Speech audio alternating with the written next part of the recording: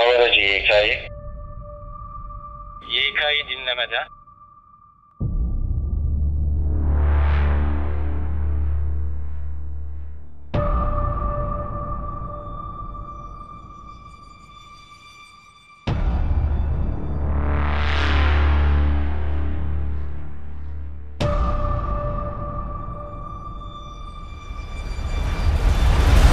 Hava aracına güç verebiliriz.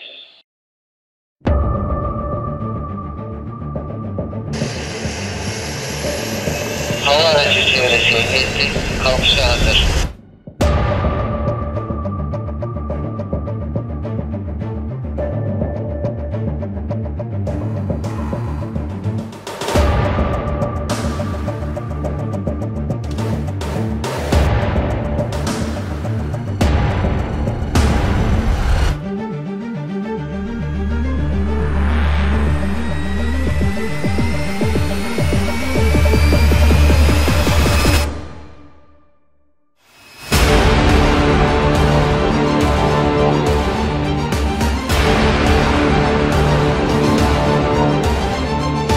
4 Kasım 2020 Akıncı prototip bir hava aracımız yaklaşık 2 saat önce Çorlu'dan havalandı. Orta irtifada sistem tanımlama testlerimizi gerçekleştirdik.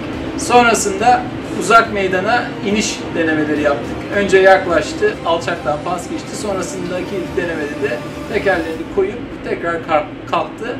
E, şimdi de dönüp meydana, Çorlu'ya inecek. Vatanımıza, milletimize hayırlı uğurlu olsun.